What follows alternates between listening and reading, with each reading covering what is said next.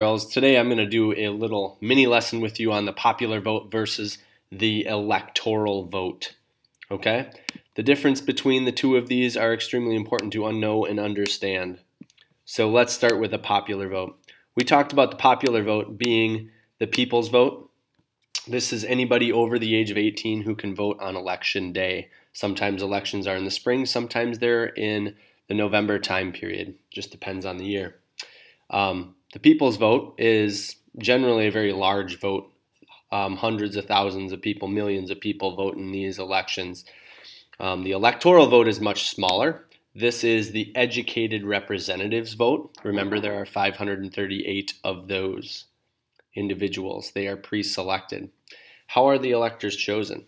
If a presidential candidate makes the ballot, such as Donald Trump did in 2016 and Hillary Clinton did as a Democrat in 2016, they select ahead of time certain individuals who serve as his or her electors. And they promise to vote for them if they win a popular vote in a state. So these electors um, generally meet the first Monday after the second Wednesday in December. This generally happens later than the election date in early November so that any discrepancies or retallies of votes can take place if necessary.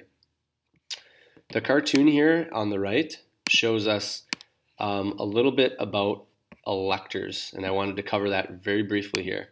It says, Okay, I'm here to pick your president, Sonny, woman from Iowa. And the bigger man says, uh, We await your wisdom, O great and powerful one, the rest of the 99% of the population. So, what we see here is that um, the one person, the woman from Iowa, gets to cast her vote, and that that is what matters, and that the other man, the 99% of the population, his vote doesn't really count when it comes to electing the president. It's only the woman's.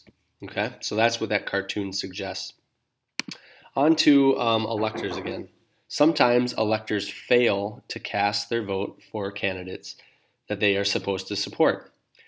This could happen for various reasons. This occurred seven times in the 2016 election um, with the Trump and Clinton election there.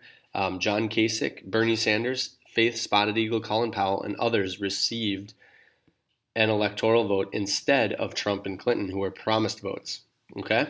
So faithless electors, by definition, are, and you should write this down. If it's not on your sheet, you should write this down is one who pledges to vote for a certain candidate but changes their mind on election day. So that can happen. So states need to kind of safeguard this. So they set up some consequences for faithless votes. One of them is to cancel the faithless vote altogether and don't count it. Um, they soon replace that vote and they cast a new one. So that's the most common response to cancel that faithless vote and replace it with a new vote. Some states, though, fine people 500 to $1,000, and charge you with a fourth degree felony. Remember, that's on permanent record. All right, there's your little intro video on popular and electoral vote. Good luck on the next video.